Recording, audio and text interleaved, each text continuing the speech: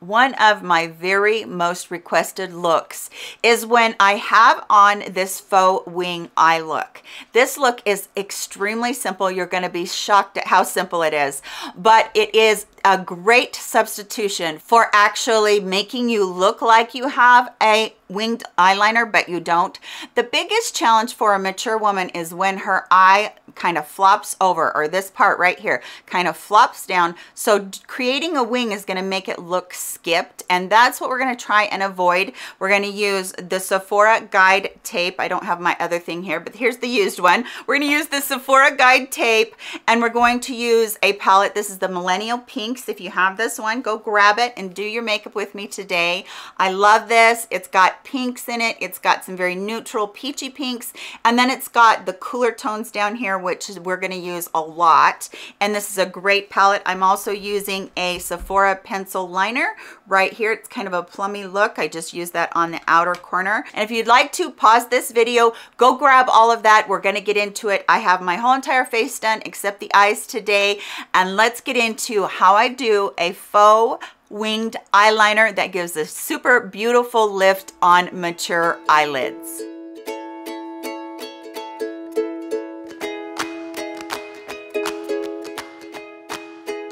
I started off with Anastasia Beverly Hills eyeshadow primer. I have never found anything better. I applied it with a Sephora concealer brush. This one is exactly like the one that you can get from BK Beauty and Angie Hot and Flashy, just as soft, maybe a little bit smaller. And then we're gonna use today, I chose to use the Melt Cosmetics Millennial Pinx palette. And I very recently got this and I've been really liking it. And I'm going to be taking my Wayne Goss number 18 brush, which I love. And I'm going to be going into the lightest color right here and using it as a transition. I can't believe I forgot the tape as I'm, as I'm just tootling along on the tutorial. I forget the very most important part of it all. So an eighth of an inch from away from the corner and then to the tail of the brow. This is what's going to give us that crisp line. It's also going to be the guide for us to be able to do the wing, the faux wing that we're going to do with the smoky eye. So sorry about that. I get, you know, ahead of myself. All right, so that peachy pink color, we're just going to build up, bring it clear out here to the tail end of the brow, and then bring it all the way over to the inner corner, and just follow your natural brow bone shape.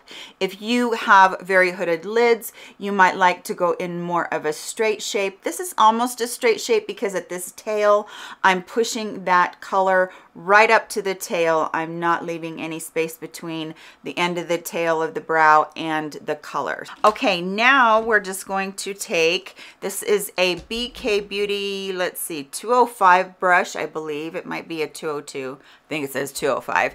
It's the contour shader brush and I'm just going to take it and I'm going to go down into this deepest color right here, which is almost like, oh goodness, it's almost like um, kind of a burnt orange. But what I'm going to do is I'm going to put this color right here into it just ever so light, slightly. So I'm going to go right out here on the edge of my eye and I'm going to just push that color into the edge of my eye out here on the lid. Don't take it up yet and just continue to push that. Now, when your brush has kind of exhausted all it's got on it, now turn it over. So I had it like this right here. Now turn it over. And this is why I love this contour brush. Turn it over and begin to push that color just towards the tail a little bit. You're not wanting to do too much. And then kind of blend it into the crease ever so slightly. So this is about all the color you're gonna need if you wanna do a light everyday look of this. In a second, I will show you how to really make that tail very pronounced so that you can see.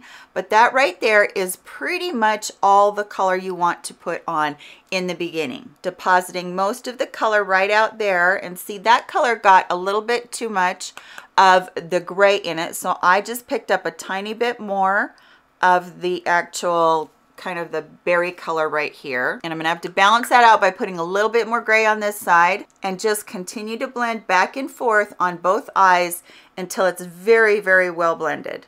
Okay, I think I'm gonna work with this silver today. Um, I've always loved silver on my lids, so I'm just gonna load up my finger with that, and then I'm going to put that across my lid from inner corner to where it meets the, clear up until where it meets the color of the outer V. So staying more down towards the eyelid, towards the eyelash line, sorry.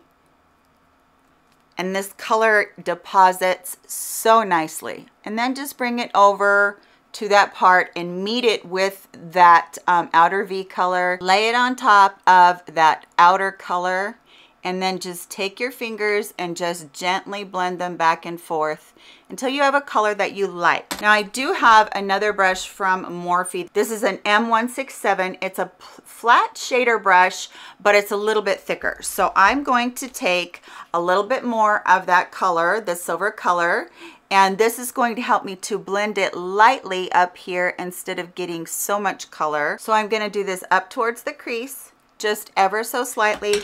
Then I'm going to go back in with that contour brush and I'm going to take that color that we started with. I'm going to mix it a little bit with the transition color. And then I'm going to go just across everything here. And when I say everything I'm not going clear up into the transition color.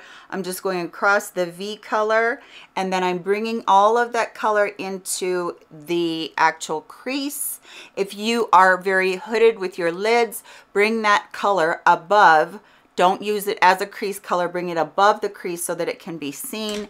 And then go back in with your original brush and just buff everything together lightly now I want you to take that contour brush one more time. I want you to very, very tiny, tiny amount of the gray. Lift a tiny, tiny amount of the gray onto it. And now just make sure your uh, tape is down. And now just take it and just flick it just a little bit and we're making that faux wing right there. We're just making that color a little bit starker we're flicking it just a tiny bit. We're not doing a lot of blending right here. We're just trying to make that little faux wing look a little bit more pronounced. Now take your original brush one more time and go over that, push it around and make sure that it's blended well. I'm going to take a very, very tiny Morphe brush. I'll put all these up on the screen because I don't have my glasses over here. Very tiny brush. And then I'm going to take the color that is the lightest in the palette and I'm going to do my inner corner with it. And I'm going to just bring a little life to that inner corner all right, we're to do the magic and we're to take the tape off and see what we have for little faux wings here. Can you see how pretty that is? Can you see that little wing? I love that. Such a nice look. Now that did take off some of the concealer that we have right there. So you are to need to do a little bit of your concealer, just a little tiny bit of touch up right there. I'm going to do that right now with that brush that I was showing you. Now I'm going to take this Sephora waterproof eyeliner. This is one of the automatic ones. I'll just show you what color it is. It's kind of a plummy color, so pretty.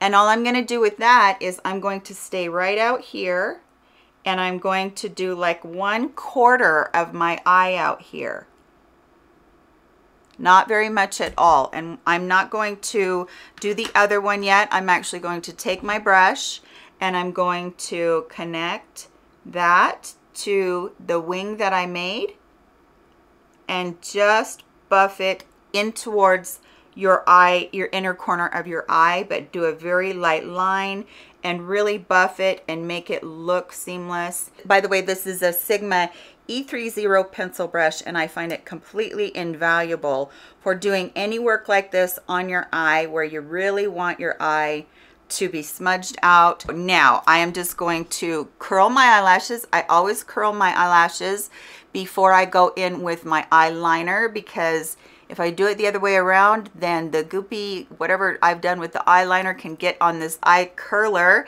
and I don't want that to happen. So I give it about three curls. And then I'm taking a mini that I have of the Kat Von D tattoo liner and I'm going to, as close as I absolutely possibly can, line this I, I'm staying away from this outer part because if I were to pull that down, I would make my eye look downturned. Usually I put two coats of mascara on, but each coat takes me a while to do. So I sometimes will do two coats, I sometimes will do three coats, but I do take a lot, a lot of time on my mascara. By the way, I used the new Caliray uh, mascara from Sephora. I do really like this. I should show you the brush. It's very thin, so that helps me out a lot. This is supposed to be a tubing mascara. I don't feel like it's a tubing mascara in the way that it comes off because it doesn't just, you know, fall off as you're using it. It has a little bit more stick sticking power than that, which I really, really like about it. Um, but it is fairly easy to take off. So that's a bonus. And then on my bottom lashes, I put the CoverGirl Professional Super, uh, super thick lash and this is the waterproof. I put the that on the bottom lashes. I heard about this from stephanie marie and i wanted to try it. Um, nice for the bottom lashes little bit hard to get off but that's what the, the waterproof is about.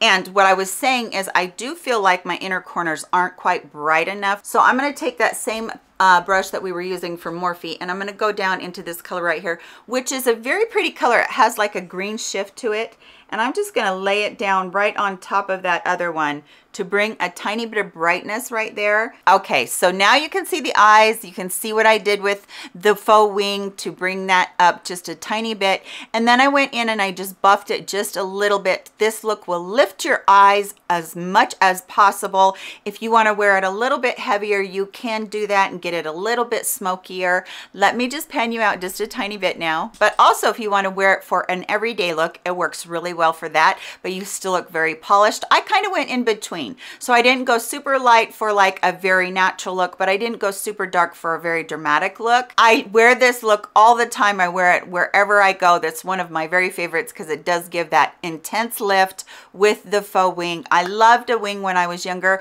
but boy howdy, since I've been older, I haven't been able to do it. So I hope that this did help you. Please give this video a thumbs up on your way out of here. And I really appreciate you spending some time with me. Let me know in the comment section if you are going to try this or if you went along with me and did try it today. I hope that everybody is doing really well. Please take care of yourselves. I love you much and I'll catch you in my next video. Goodbye, my friends.